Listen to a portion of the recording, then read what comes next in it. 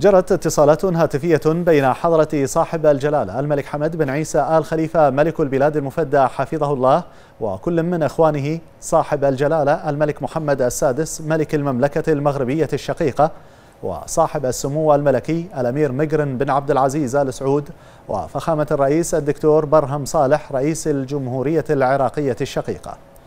كما جرت اتصالات هاتفية بين حضرة صاحب الجلالة الملك حمد بن عيسى آل خليفة ملك البلاد المفدى حفظه الله وكل من أخوانه سمو الشيخ نواف الأحمد الجابر الصباح ولي عهد دولة الكويت الشقيقة وصاحب السمو الملكي الأمير بندر بن سلطان بن عبد العزيز آل سعود.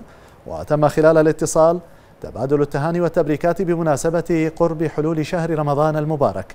داعين المولى عز وجل أن يعيد هذه المناسبة المباركة على شعوب هذه الدول الشقيقة باليمن والخير والبركات وعلى الأمتين العربية والإسلامية بالعزة والتقدم.